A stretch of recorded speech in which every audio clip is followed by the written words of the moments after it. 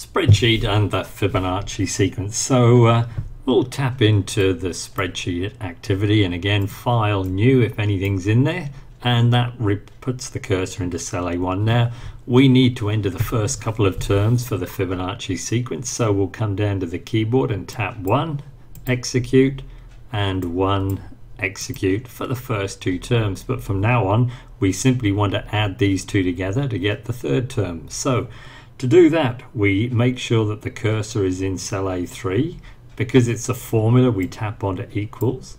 I'm going to tap onto cell A1 notice that it appears down at the toolbar here. Now I'm coming over here to tap add and puts the plus sign in. And now I'm going to tap onto cell A2 and the formula is built. We want to add together the terms above it in cells A1 and A2 so I'll tick uh, the yep that's good and uh, the first formula is done. Now to copy this formula down we saw one method in video 501 here's another. We'll tap onto the cell that we want to take maybe down to the uh, hundredth row here and head off to edit fill fill range.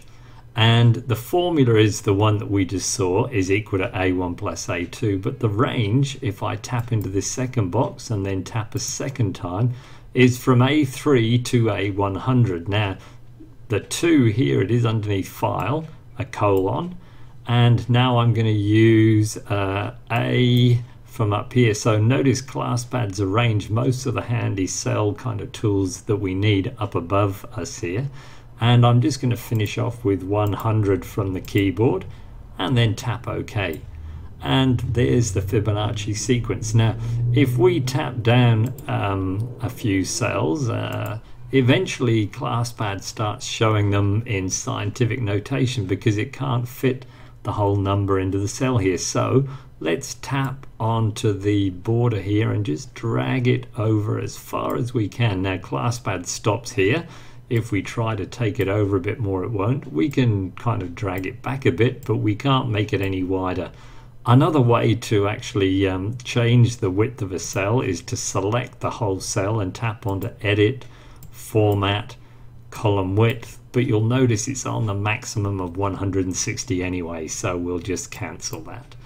Now that's good. We can now see Fibonacci numbers up to the 48th here and so on. Now if we scroll down a little bit further um, eventually ClassPad says now I'm showing you these ones from the 50th term onwards uh, in scientific notation. So to convert to um, exact form we need to tap onto the cell heading to select every item in the cell and we're going to use the 0.5 to a half the uh, exact decimals to exact values.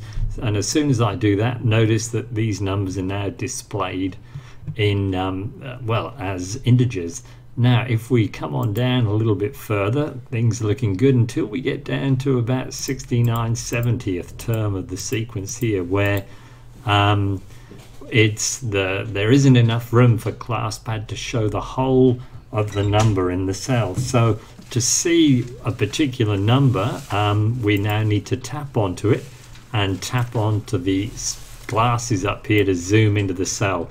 And there you can see the actual value and its formula. So if I tap off and go right down to maybe the hundredth term here, and we wanted to see the hundredth term, there it is in all its glory.